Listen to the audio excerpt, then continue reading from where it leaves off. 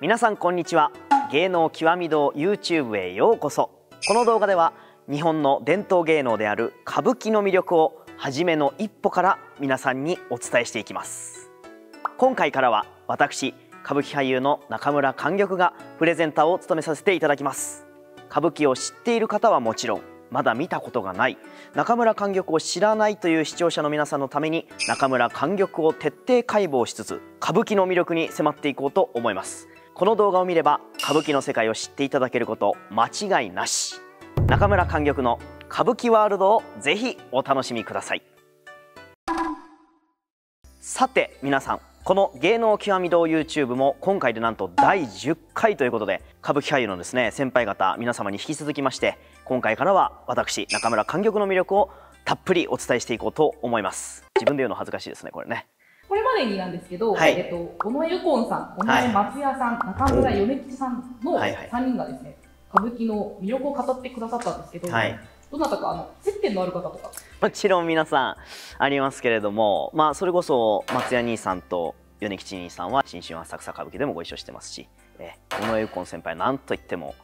NHK のね歌舞伎中の先輩でもいらっしゃいますからさて視聴者の方の中にはまだ私のことを知らないという方もいらっしゃると思いますのでここで簡単な自己紹介をさせてください、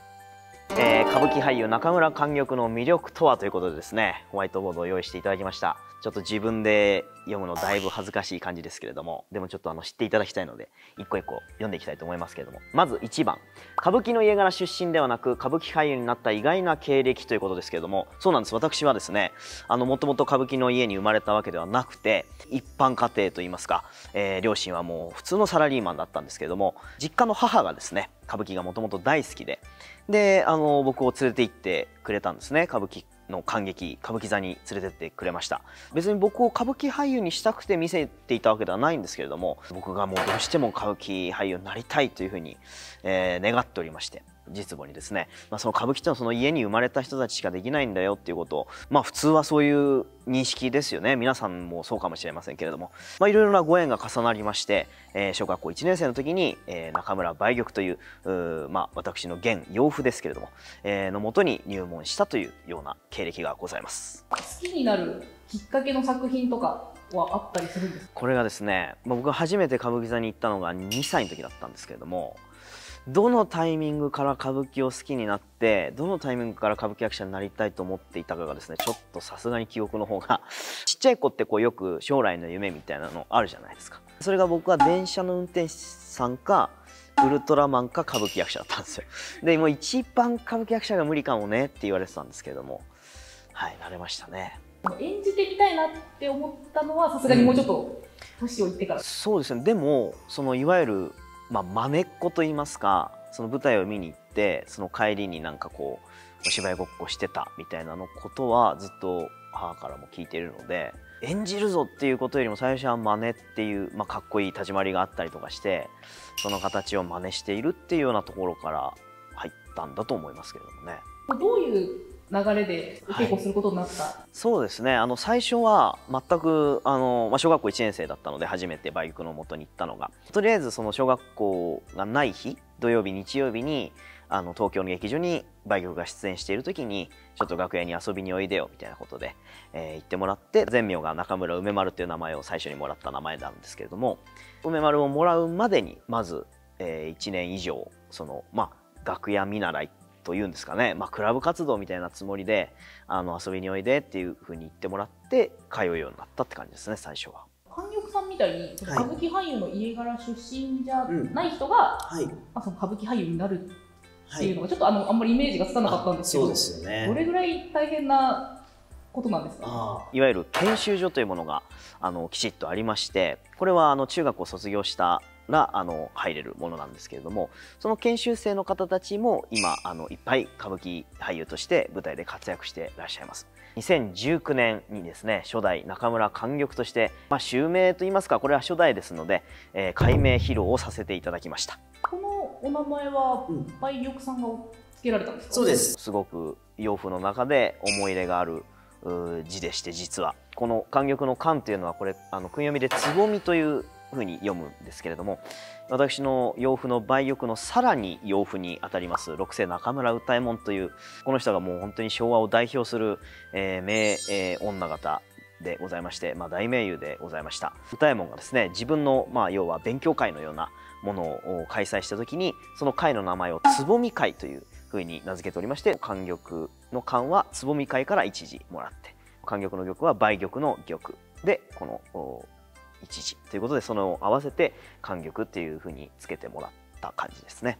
もう最初はですねこの名前がちょっとあまり僕は気に入らなくてですねもうちょっと他に候補ないですかっていうような話をしたんですよね。まあ、その前が梅丸という名前でしたし、まあ、梅玉の梅ですねが梅という字でそこから一字もらって梅丸だったわけですが、まあ、とにかくですねその梅丸という名前がこう自分の中ですごくこう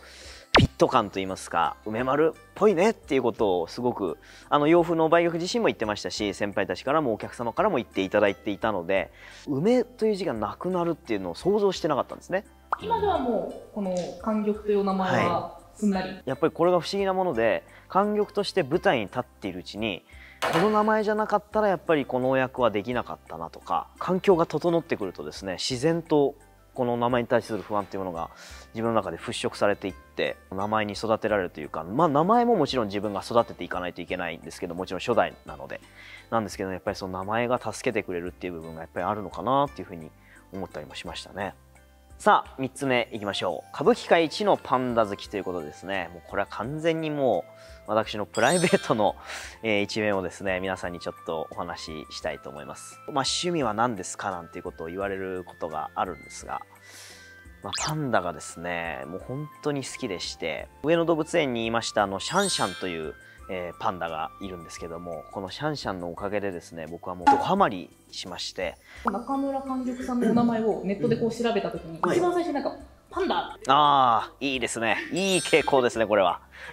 パンダを好きになったきっかけとかってあるんですか？もともとですねあの僕が通っていた中学校と高校がですね上野に近くてですね僕が大好きな一番の推しパンダであるシャンシャンのお父さんパンダとお母さんパンダが来た時に名前の募集があったんですね。その学校にもあの生徒さんにちょっと公募してくださいっていうようなことでえー、それが来てましてでみんなでこんな名前がいいかななんて書いていったっていう思い出もありますし最初はですねあのリアル実物パンダちゃんというよりもですねスタンプとかで使うようなあのキャラクターのパンダがですね好きになりましてっていうタイミングでシャンシャンが生まれてで友達があの最初抽選だったんですけどもそれを当ててくれましてあの一緒に行こうよって言って誘ってくれてもう見に行ったらまあこれが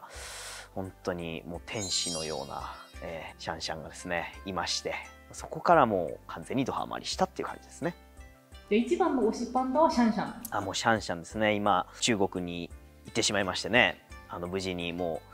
うあの航海も始まりましてすごくこう幸せそうに生活している様子がもう日本にも届いておりますので今それをチェックしてあよかったなこんな風に幸せな感じで過ごしてくれてて嬉しいなというふうに思ってる毎日ですね。でパンダって別にどれも一緒じゃないって皆さん思ってらっしゃいませんか？これが全然違うんですよもう一頭一頭ねキャラがちゃんとありまして内面も僕は好きになったんですけれども公式に上野動物園さんもですね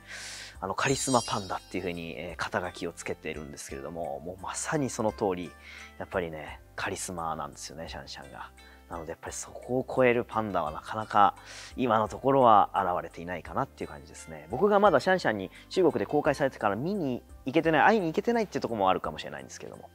はい。やっぱり推しはシャンシャンですね。パンダってあの表情が分かりにくいじゃないですか。そうですか？わかりますね。僕はもう、あ、てかね、シャンシャンがそれこそ、あの、表情が分かりやすいパンダなんです。